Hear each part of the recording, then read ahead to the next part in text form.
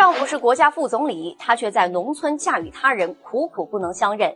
一九五四年，一位农妇无意间看到商店的报纸后，神色突变，随后匆忙跑回家中，并向家人表示，如今的国家副总理陈毅就是自己的丈夫。此话一出，全家震惊，她如今的丈夫更是感到啼笑皆非。就在家里人准备对此一笑而过的时候，农妇接下来的一番话揭开了那段不为人知的过去。百度搜索“陈毅夫人”，了解更多内容。在这儿点个三连，咱们接着往下讲。看着疑惑不解的众人，赖月明心一横，索性向大家讲起了自己与陈毅相识相遇的点点滴滴。一九二八年，因为家中贫困，赖月明被叔父卖给谢姓人家做童养媳。在谢家，赖月明吃不饱穿不暖，还要忍受那家人时不时的殴打与谩骂。走投无路之间，赖月明便想到了去投奔革命。一九二九年，在当地妇女组织的帮助下，赖月明顺利地加入了革命队伍，并凭借自己的表现赢得了组织的信任，被分配到了少共省委任职。在少共省委的日子里啊，赖月明常常带领战友开展慰问红军的行动。而当他跟随部队来到宁都时，刚巧与在这里歇息落脚的陈毅相遇。在相处的过程中，赖月明与陈毅渐渐擦出了爱的火花。虽然在此期间，赖月明发现陈毅出身于大地主阶级。但在战友的解释下，赖月明很快打消了对陈毅的误会，两人步入了婚姻的殿堂。婚后啊，由于革命任务不同，赖月明与陈毅聚少离多。一九三四年，赖月明奉命前往瑞金医院照顾陈毅，这才结束了两人的异地生活。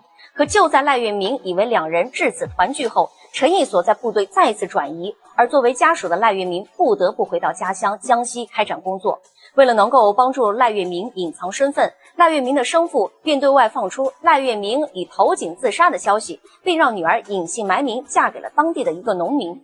虽然赖月明因此躲过了仇人的追杀，但与此同时，积极寻找妻子下落的程毅也因此错失消息，接受了自己已经丧妻的噩耗。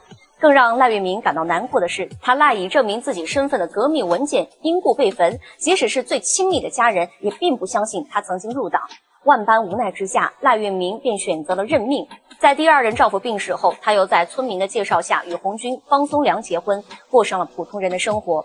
直到在商店柜台上的报纸上看到了陈毅的照片，赖月明这才知道自己当初的丈夫已经成为国家副总理。欣喜之余，赖月明本想立即进京与陈毅相议，但考虑到如今双方都已另结良缘，担心影响陈毅名誉的他，只得默默将这一份秘密埋藏在心底。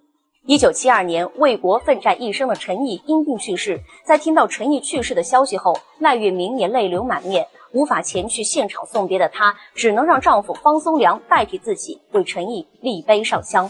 因为种种原因，直到去世之前，陈毅并不知道妻子赖月明其实并没有去世。之前的投井自尽只不过是为了自保而编造的烟雾弹，而没能见到陈毅最后一面，也成为了赖月明一生的遗憾。在时代的洪流中，像陈毅与赖月明这样的眷侣还有很多。也正是他们无私无畏的付出，才成就了辉煌灿烂的新中国。他们的故事令人哀叹，而他们的情谊更让人敬佩。好了，今天的故事就讲到这里，欢迎大家给我们的视频点赞、评论、加关注。我们下期再见。